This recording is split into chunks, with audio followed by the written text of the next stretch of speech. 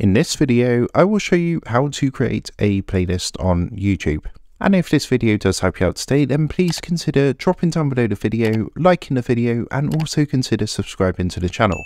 And with that being said, let's jump straight into the tutorial. So you can see I'm currently on youtube.com and what you're going to want to do first is actually choose a random video. So you don't have to choose any video, but this is how you would go ahead and create a playlist. For the purpose of this video, I'm just going to go across to my channel and choose one of my videos from here.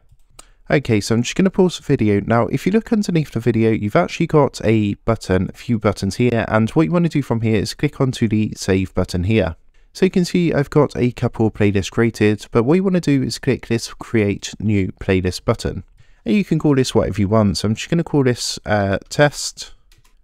And you can choose to set the privacy to public, unlisted or private. So of course, if you set it to public, then anyone can actually view this playlist. But if you set it to private, then of course it's only for you and only you can view the playlist.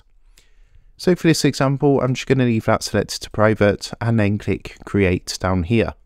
You can see this is now saying added to test and to actually find this playlist, what we're going to do is just go back to the YouTube homepage and you want to make sure you're logged into your account. And if you actually come to this menu on the left hand side, you'll see the playlists that you have created on the left hand side.